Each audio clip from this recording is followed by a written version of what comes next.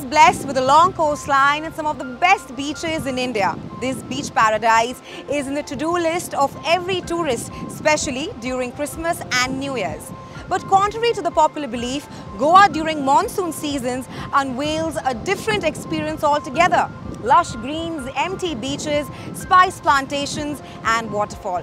It does make an ideal visit for you. So do yourself a favor and visit Goa during the monsoon season.